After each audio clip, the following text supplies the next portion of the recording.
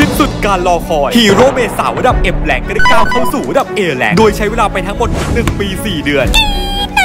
ทำไม เธอถึงขึ้นมาจากขุมนกเอฟแรงได้ทำไม เธอถึงเก่งขึ้นหนึ่งก้าวกระโดดทั้งที่ไม่ได้มีการปรับสกิลใดๆทั้งสิ้น และสุดท้ายพบกับแนวทางการเล่นที่อ้างอิงจากผู้เล่นระดับเมตโมเมนโตซึ่งรวมไปถึงแนวทางการดับแก้ทางฮีโร่เมตาตัวไหนได้บ้างเลยครับ โอ้โหนี่อ่านเหมือนแก้ทางฉันเหรอ เอายอดไม่เก็บวันนี้คิวแซดขอทำการเจาะลึก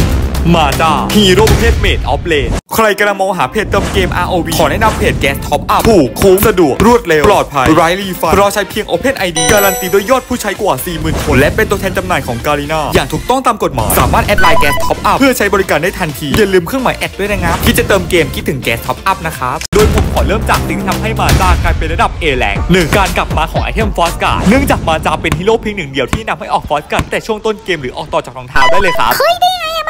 โยนออกด้วยได้ไหมโอ้อย่างที่เพื่อนๆทราบกันครับว่า การจะรีดขีดความสามารถสูงสุดของฟอสการ์ดจำเป็นต้องมีพลังเวทมากกว่า 500 หน่วยครับ ซึ่งฮีโร่อย่างมาจาสามารถเพิ่มพลังเวทด้วยตัวของมันเองได้จากสกิลติดตัว Abyssal Might โดยสามารถเพิ่มพลังเวทได้สูงสุดถึง 400 หน่วยตั้งแต่ level 7ถึง level 8ซึ่งขณะนั้นเป็นเวลาเดียวกันกับที่สามารถออกไอเทมฟอสการ์ดได้พอดีครับ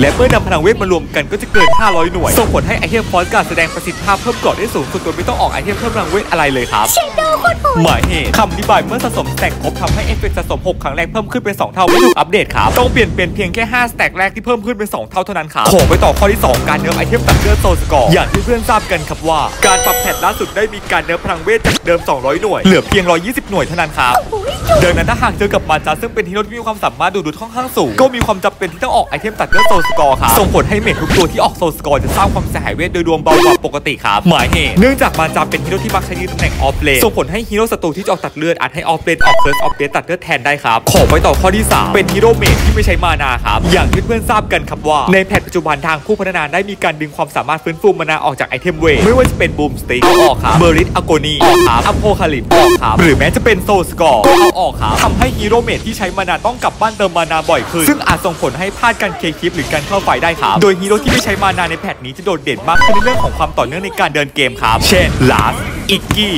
และฮีโร่อย่างมาจ้าครับ ขอไปต่อหัวข้อวิธีการเล่นมาจ้ายังไงให้ผลเหมือน pro player หมายเหตุหัวข้อนี้ผมขออ้างอิงจากประสบการณ์ผู้เล่นระดับเม็ดโมเมนโตซึ่งไม่ได้เกิดจากการโม้หรือคิดมาเองแต่อย่างใดขอเริ่มจากเทคนิคการเล่นหนึ่งเทคนิคเลี้ยง stack ให้เต็มตลอดเวลา เนื่องจากการจะรีดขีดความสามารถสูงสุดของทางมาจ้าทางไอเทมเพิ่มเกราะฟอสการ์จำเป็นต้องเลี้ยง stack ให้เต็มตลอดเวลาครับโดยระหว่างการเดินเพื่อนๆสามารถปล่อยสกิลหนึ่งใส่ creep ป่าเพื่อเลี้ยง stack ให้พร้อมเข้า fight ตลอดเวลาแบบนี้ได้เลยครับสองเทคนิคเช็คพุ่มครับโดยเพื่อนๆสามารถปล่อยสกิลหนึ่งเพื่อเช็คพุ่มได้ครับซึ่งถ้าหากมีศัตรูดักอยู่ stack สะสมจะมีการเปลี่ยนแปลงแบบนี้ครับ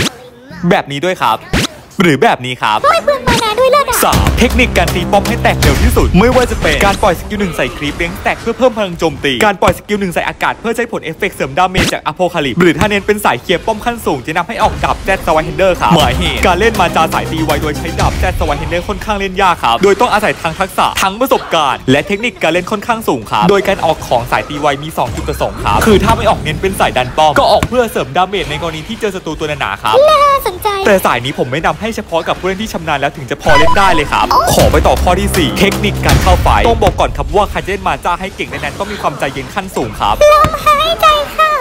นั่นแหละครับเนื่องจากมาจ้าไม่ได้เป็นฮีโร่ที่ถึกไม่ได้เป็นฮีโร่ที่มีดาเมจจัดจ้านและระยะหว่างผลของสกิลค่อนข้างแคบอีกด้วยครับทำให้มาจ้าต้องอาศัย skill play เพื่อยืนจ่าย damage ค่อนข้างสูงครับโดยรูปแบบการเล่นของมาจ้าสามารถถูกแบ่งได้เป็น2รูปแบบครับ 1. รูปแบบยืนจ่าย damage ปกติเริ่มจากปล่อยสกิล2งูฉกโซดิวเลอร์ต่อด้วยกดโจมตีปกติ1ครั้งแล้วตามด้วยสกิล1คลื่นวิญญาณดักเผาโดยจุดที่เป็น key point คือการใช้สกิล1ให้โดนฮีโร่หรือ creep ให้ได้มากที่สุดครับเนื่องจากการใช้สกิล1โดนศัตรูจะลด cooldown สกิล2ลงครับซึ่งลด 1.5วิต่อฮีโร่ศัตรู1ตัว และ 0.5วิต่อ creep 1ตัวครับดังนั้นถ้าใช้สกิล1โดนศัตรูดาวดาว3ถึง4ตัวสกิล2แทบจะ refresh cooldown และกดใช้ต่อได้ทันทีเลยครับสาบานนั่น damage เหรอพ่อพ่อโยนมาดู ถูกอะถ้าของ full ก็แรงอยู่นะครับไปต่อรูปแบบที่ 2 รูปแบบล้วงศัตรูอย่างที่เพื่อนทราบกันครับมาจ้าเป็นฮีโร่ที่ไม่ได้มี damage รุนแรงเพียงพอที่จะสังหารศัตรูด้วยตัวของมันเองอันนี้ขอยกเว้นมาจ้าที่ full item นะครับดังนั้นโอกาสที่มาจ้าจะประสบความสำเร็จในการล้วงแนะนำให้ฮีโร่ที่เป็นเป้าหมายมี HP ต่ำกว่า 50%ครับโดยเริ่มจากการกด ultimate skill เพื่อฝ่าไปถึงแนวหลังต่อด้วยการกดสกิล2และสกิล1เพื่อสังหารศัตรูครับเชดคุณแรงซึ่งกว่ามาจ้าจะทำแบบนี้ได้ก็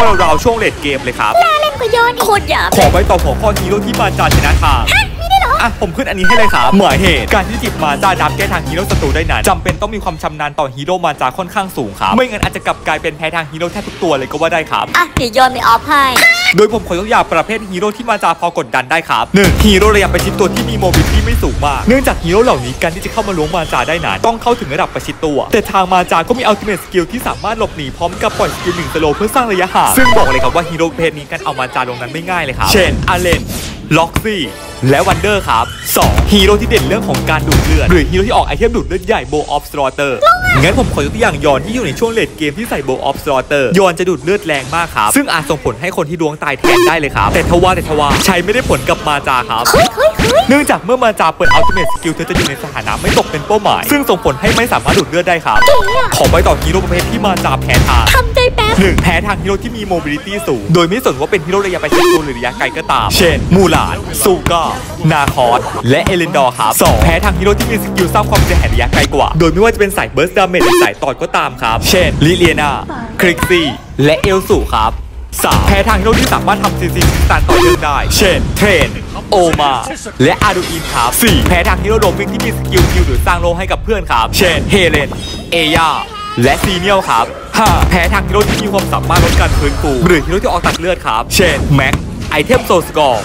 และไอเทม Curse of Death ครับ 6. แพ้ทางฮีโร่ที่มีความสามารถต้านสถานะ เช่น Kil'Groth และลูกครับอ้ายฮีโร่มันจะตัวแล้วมั้งเจ็ดแพ้ทางฮีโร่ที่มีสกิลกักขังเช่น อีชา สุดท้ายนี้ถ้าเพื่อนคนไหนอยากลองฝึกเล่นมาจ้า ผมแนะนำได้อย่างหนึ่งว่า อยากให้เพื่อนๆเล่นด้วยความใจเย็นและค่อยๆเล่นครับแม้ว่าสกิลของมันอาจจะค่อนข้างเบา แม้ว่าตัวของมันอาจจะดับแก้ทางได้อย่างง่ายๆ และแม้ว่าอาจจะต้องเล่นเป็น10ๆตากว่าจะเข้ามือ อย่าเพิ่งท้อนะ ผมเป็นกำลังใจให้นะครับจบไปแล้วครับสำหรับการเจาะลึกฮีโร่อย่างมาจ้าถ้าเพื่อนๆอยากให้ทำเจาะลึกเกี่ยวกับฮีโร่ตัวไหนสามารถคอมเมนต์ใต้คลิปนี้ได้เลยนะครับ ผมอ่านทุกคอมเมนต์เลยนะ และถ้าใครเป็นหนึ่งถึงเก้าสิบเปอร์เซ็นต์ที่ยังไม่กดติดตามช่วยกดติดตามเป็นกำลังใจให้ผมด้วยนะครับผมน่าจะทำทุกคลิปจริงๆนะ แล้วไว้เจอกันใหม่คลิปหน้าสำหรับวันนี้บ๊ายบายครับ